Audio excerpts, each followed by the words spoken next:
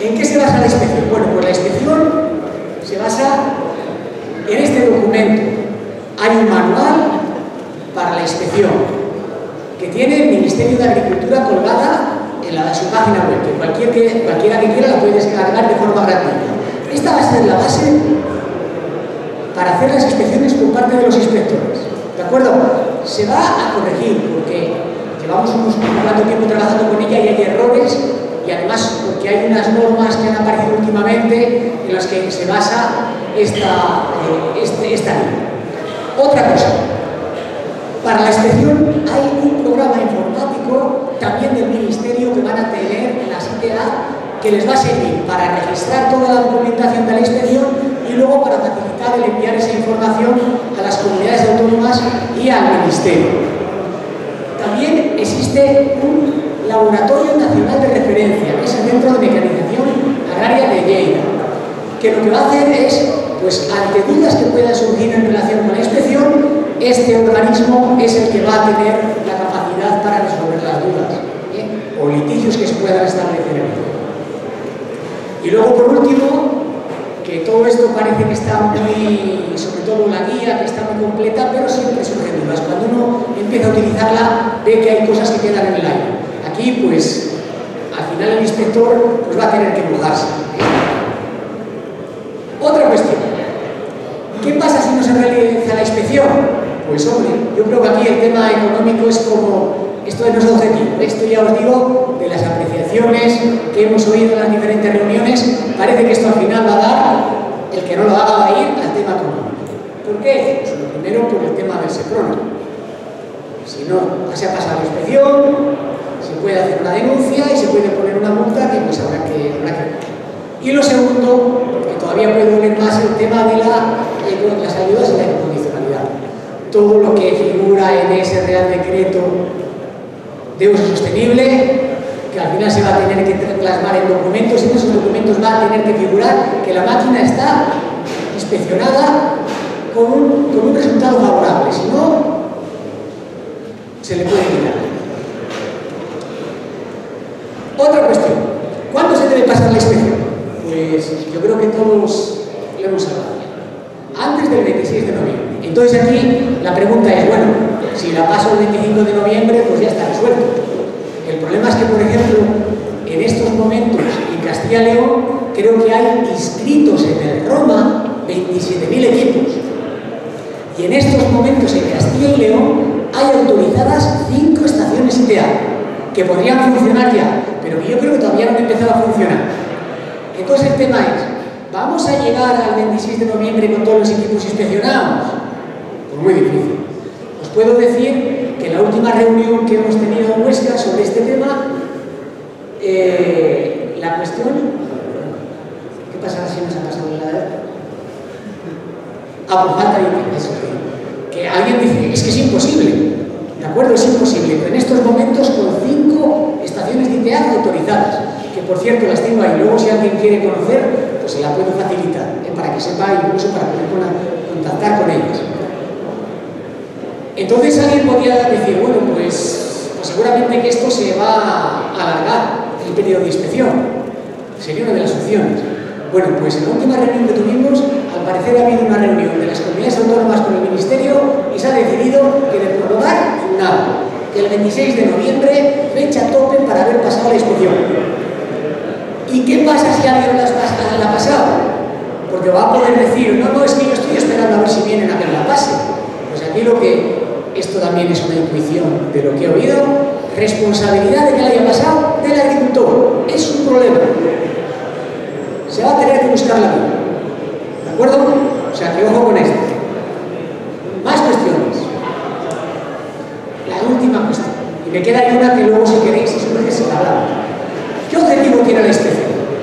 En la se planteaba por parte de la CTA que estaban haciendo, que estaban trabajando y que a la vez que trabajan hacen una encuesta para preguntar a los agricultores qué piensan o para qué sirve esto, pues la respuesta mayoritaria era, esta, para sacar dinero a los agricultores, incluso algunos para la administración. En este caso no para la administración porque, como os he dicho, van a ser empresas privadas las que los hacen.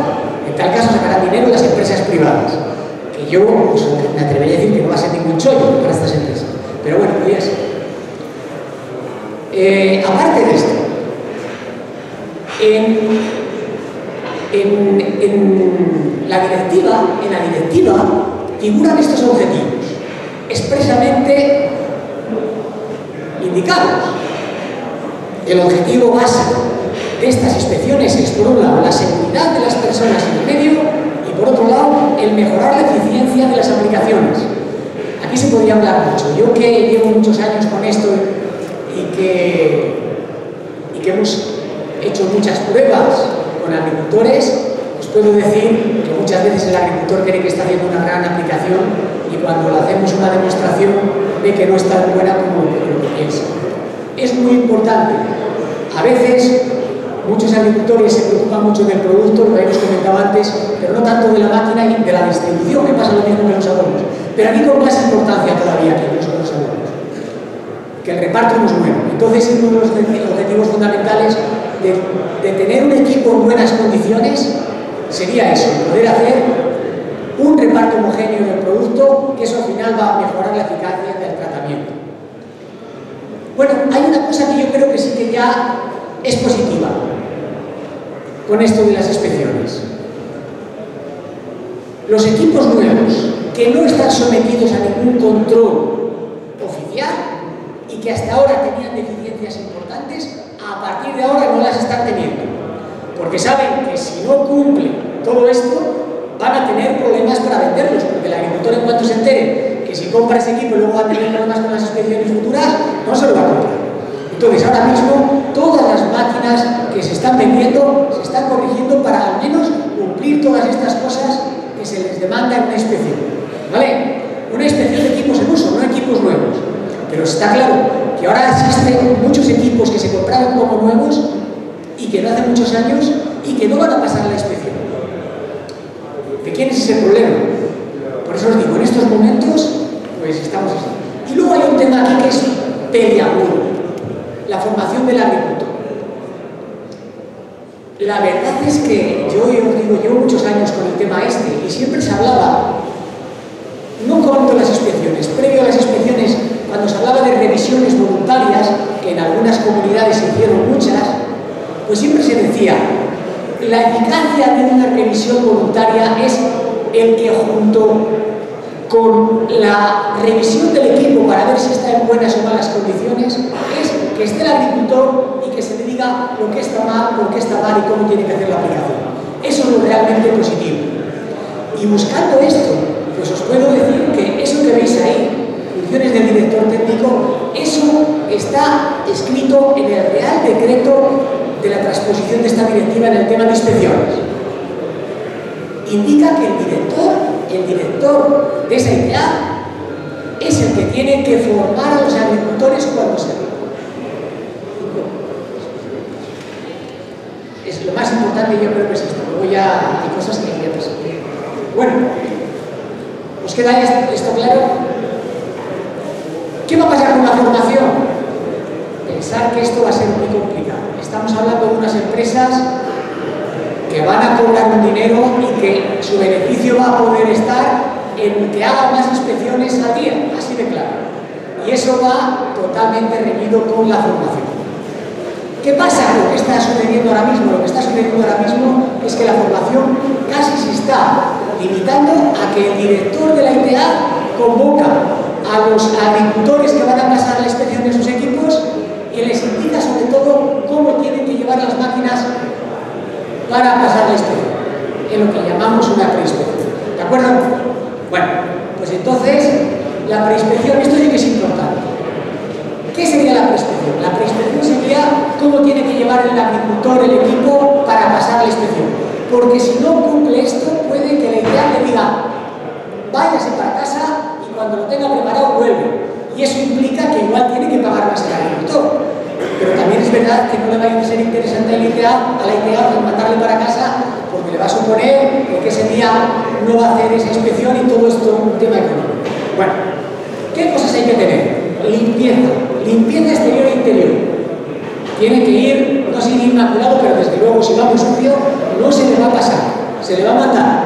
Otro tema, el tema de las protecciones o coberturas de elementos que se muevan. Si no están, se le puede mandar para casa. Fugas, está claro que si hay fugas, por supuesto, se le va a decir, esto arreglelo y cuando... Es un poco lo que pasa con las ITVs de los coches. Si tú vas con el coche ya un desastre, sabes que no te la van a pasar. Pero aquí es que te van a decir, para casa y luego Más cosas. Pues los manómetros, si están estropeados, y ya se ve que no, no están, son adecuados, también se le puede mandar. Las boquillas incluso, si ve que no se funcionan o que no son adecuadas, pues también se le puede decir para casa. Y luego, algo que parece lógico, tiene que llevar agua. Dice que tiene que llevar más o menos las tres cuartas, o sea, tiene que llevar agua en tres cuartas de la capacidad del depósito. Porque se van a hacer pruebas con agua, agua limpia, obviamente. ¿De acuerdo? Y luego una de las cosas que ya hay recomendaciones, que lo ideal es que vaya el equipo con el tractor y la persona que habitualmente utiliza ese equipo. Sobre todo pensando en la formación, que luego ya no se enseñará, pero bueno. Bueno, luego estaría el tema de inspección. La verdad es que el tema de inspección lo voy a pasar porque es, esto es un tema de los inspectores, bueno, pues tampoco se va a hacer los depósitos, se va a hacer la bomba, se hacen pruebas con la bomba, para ver si da la suficiente, se va a ver que el distribuidor, es decir, todas las válvulas funcionan correctamente, se va a ver también que el manómetro, el manómetro que se adapta al equipo y que funciona correctamente, se va a hacer una prueba de funcionamiento, pues más cosas. Las pérdidas de presión, que esto es muy importante, muchos equipos, muchos no saben que esto es un, defecto importante. Es decir, que nosotros vemos la presión en el manómetro, pero esa presión igual a las boquillas que tiene que llegar no llega bien. Es una prueba que se tiene que hacer para ver si funciona correctamente. Pues el tema de antigoteos, eh, en el caso de equipos de barras, pues que son horizontales, que se mantienen horizontales durante el tratamiento, que no tienen errores. Las boquillas, pues que hay una, se hace una prueba de, que el caudal de las boquillas funciona correctamente. Bueno, aquí las boquillas, fijaros, normalmente se puede hacer, en las pruebas del caudal de las boquillas se puede hacer con probetas, se puede hacer con un equipo en el que tú pones las boquillas individualmente y entonces le llega un líquido a presión y te da también de una forma pues informática. El caudal no se puede hacer con este otro tipo de aquí. Este otro tipo de aquí, que es lo que se llama el escáner, que más que medir el caudal de las boquillas, lo que te mide es la distribución de la barra. Pero está claro que es algo similar, es decir, si la distribución es correcta y las boquillas están bien organizadas, el caudal está bien. Pero hay que tener en cuenta que en este caso no solamente se valora las boquillas, sino también que estén bien colocadas las boquillas. Y la altura de trabajo, obviamente con la altura de trabajo, sobre todo con algunas boquillas, puede cambiar totalmente la distribución. Bueno, la posinspección, ya con esto, esto es más importante. ¿Qué pasa con la inspección? ¿Qué pasa cuando uno pasa una inspección? Pues al finalizar la inspección, la estación de ITEA le va a dar dos documentos. Un documento lo que se llama el certificado de la inspección. ¿Qué se va a reflejar ahí? Se va a reflejar la inspección. La inspección está identificada. Hay un código nacional de cada inspección. ¿Vale? Se tiene que reflejar la máquina. Tiene que estar escrita en el ROMA. Tiene que tener, pues, una, una referencia a la máquina. Todo eso tiene que ir representado, eh, aquí representado. ¿Vale? Tiene que ir identificado el, el propietario y luego, ¿qué más tienen que poner? Pues, si es favorable, pues va a decir favorable, se le va a dar una pegatina. Si es desfavorable, le va a figurar desfavorable, se le va a decir, pues al final lo vemos, cuándo tiene que volver a hacer una segunda inspección para ver si ha, para ver si ha corregido eso. Bueno, aparte de eso tiene que ir un boletín de inspección. ¿Qué es el boletín de inspección? Pues el boletín de lo que va a figurar es todas las cosas que se han inspeccionado, con la valoración.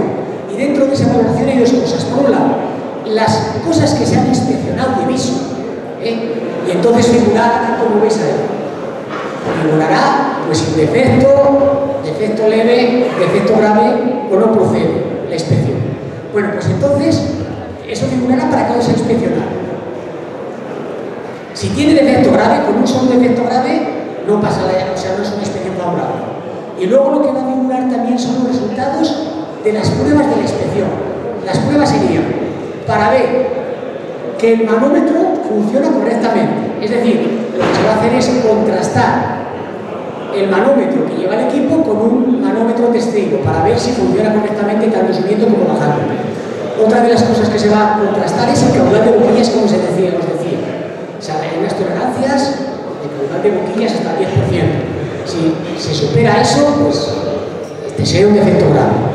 Y también se comprueba que las pérdidas de presión entre, desde el manómetro a las boquillas, pues que no supere también un determinado valor, ¿eh? que depende de eso. En definitiva, ya es la última, resultado favorable. Si es resultado favorable, certificado, boletín, pegatina para que se ponga y en esa pegatina se le indicará cuándo tiene que hacer la próxima inspección. Cinco años en principio hasta el 2020. A partir del 2020, tres años. ¿Qué pasa si no, si no tiene el resultado no es favorable? Pues lógicamente se le va a decir, en el certificado se le pone, en el certificado ya se le pone por qué no es favorable, se le va a decir los problemas que ha tenido como defectos graves, también le va a figurar en ese certificado cuándo tiene que pasar la próxima inspección para eso, que va a ser como máximo un mes, se va a dar como máximo un mes, y que se la tiene que hacer la misma idea, no puede ser otra. Y nada, siento que haya sido así un poco, pero espero que se haya aclarado. Un tema que no, un tema que no dice nada fue el tema del dinero. Es que es justo lo que te iba a preguntar. ¿Cuánto vale esto? Ya os dije que esa es una cuestión que no quería poner porque es la, pregunta del millón. Pues libertad total, libertad total para la CTA y los agricultores. ¿Qué pasa? Pues que en cada sitio, cada empresa, pues hay una competencia bastante importante. Yo os puedo decir que ya desde hace mucho tiempo se hablaba que el coste de una inspección, porque cuando se hace una inspección medianamente bien, por lo menos una hora.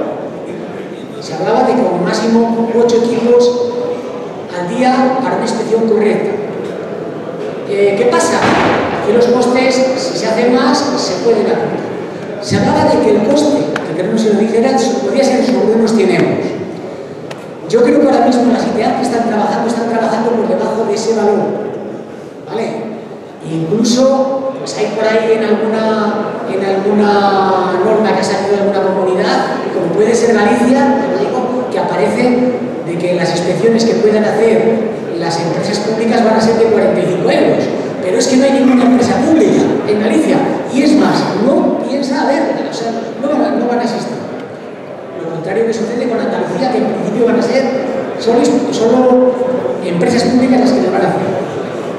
¿Cuánto se va a hacer?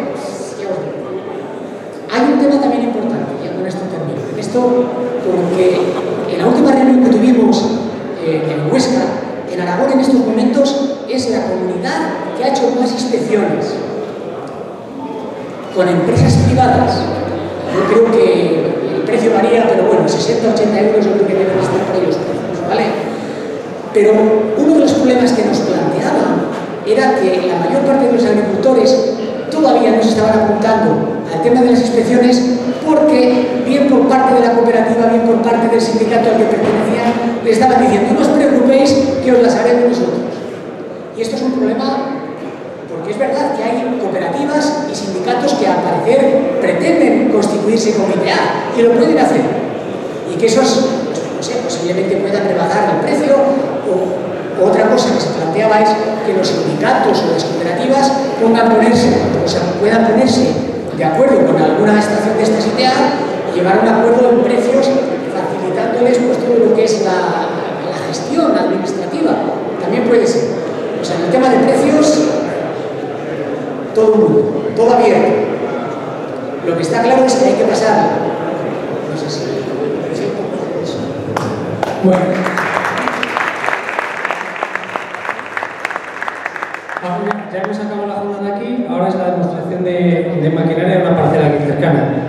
Eh, hay el camino más fácil para ir es volver a la carretera y vais a ver una persona de New Holland que os va a indicar el camino que hay que coger. Y ya el camino es todo recto hasta que veáis la parcela, que me imagino que han puesto allí unas banderolas.